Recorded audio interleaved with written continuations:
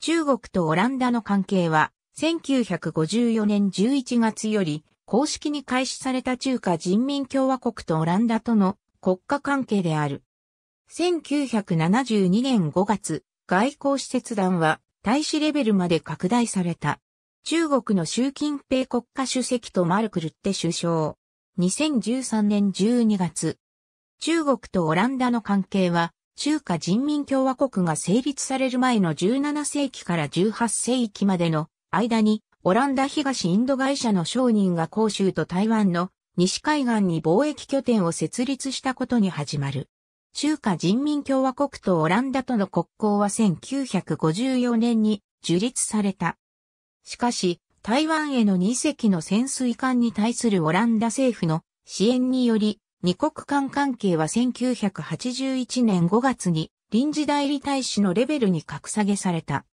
1984年2月1日に中国とオランダは台湾と防衛のハードウェアに関する貿易を行わないことに合意し、外交関係を回復した。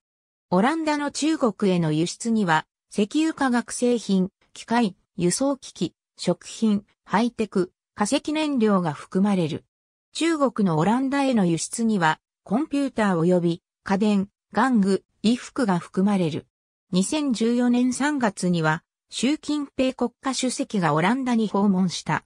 在中国オランダ大使館1995年6月には、オランダのウィムコック首相が中国を訪問する。翌1996年9月には、中国人民政治協商会議の李随館議長がオランダを訪問する。さらに1999年4月には、ベアトリクス・ウィルヘルミナ・アルムハルト女王が中国を訪問する。2009年では、オランダは約46億ユーロの商品を中国に輸出していた。2015年10月26日には、人民大会堂で習近平国家主席とオランダのウィレム・アレクサンダー国王が会談し、国交関係を両国ともに高く評価した。また、同日に同じく人民大会堂で、李活教首相とオランダのウィレム・アレクサンダー国王が会談した。また、ウィレム・アレクサンダー国王は、同日に、ユータダ市中国人民政治協商会議主席とも会談した。